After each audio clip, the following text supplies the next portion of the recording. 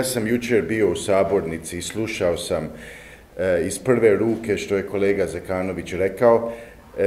svi mi e, smatramo da zapravo u ovoj pandemiji e, pojedinac nosi odgovornost za svoje zdravlje. Dakle, nitko nije protiv odluke nečije da se cijepi ako želi.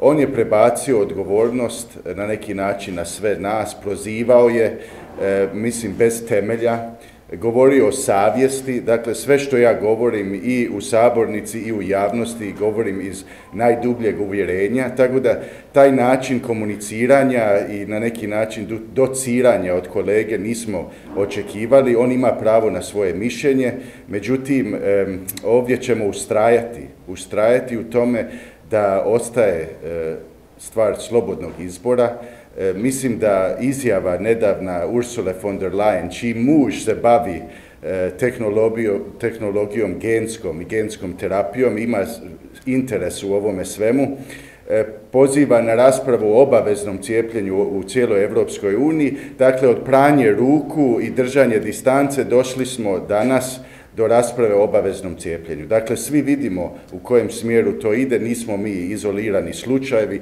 mislim da mnogi to vide, ne samo u Hrvatskoj, nego šire.